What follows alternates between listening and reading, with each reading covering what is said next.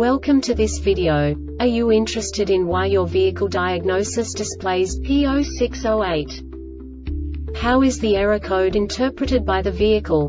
What does P0608 mean, or how to correct this fault? Today we will find answers to these questions together. Let's do this. First, let's look at the history of diagnostic fault code composition according to the OBD2 protocol, which is unified for all automakers since 2000. We divide the electric system of automobile into the four basic units. Powertrain, body, chassis, network. This distribution is defined in the first character code. If the second character is expressed as zero, it is a standardized error. In the case of numbers 1, 2, 3 it is a more prestigious expression of the car-specific error. The third character specifies a subset of errors. The distribution shown is valid only for the standardized DTC code. Only the last two characters define the specific fault of the group. Let's not forget that such a division is valid only if the other character code is expressed by the number 0.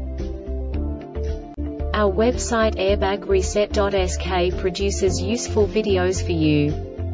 You do not have to go through the OBD2 protocol anymore to know how to troubleshoot any car breakdown. You will find all the diagnostic codes that can be diagnosed in a Cadillac vehicles. Also many other useful things.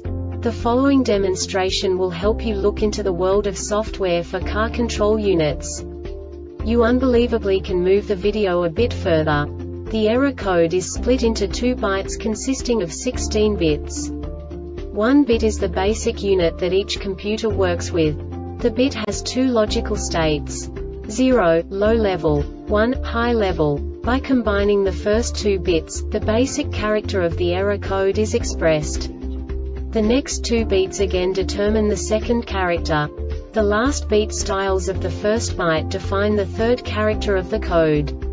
The second byte is composed of a combination of 8 bits. The first 4 bits determine the fourth character of the code. And the combination of the last 4 bits defines the fifth character. A single byte conceals 256 possible combinations.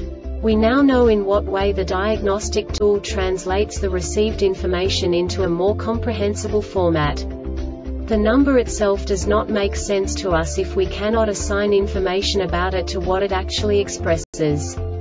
So, what does the diagnostic trouble code P0608 interpret specifically Cadillac car manufacturers? The basic definition is VSS output signal circuit.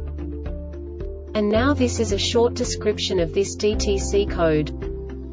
The engine speed is greater than 400 rpm The ignition voltage is greater than 6 volts but less than 18 volts. This diagnostic error occurs most often in these cases.